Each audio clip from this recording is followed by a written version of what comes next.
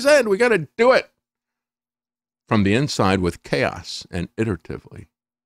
It was a plan. It was not a mistake. It was not an oversight. It was a deliberate plan. They talked about it in public. They practiced it for over 20 years. And they had the stooge, Donald Trump, Benedict Donald, do it for them. They positioned him as the polar opposite of the globalist. Oh, yeah, I'm the nationalist. Oh, this guy's rabidly nationalist. All of them played that up. He was an invented character, like a professional wrestler. He is the anti globalist. Everybody around the world, Trump is our hope. He's the anti globalist. And he executed their script perfectly.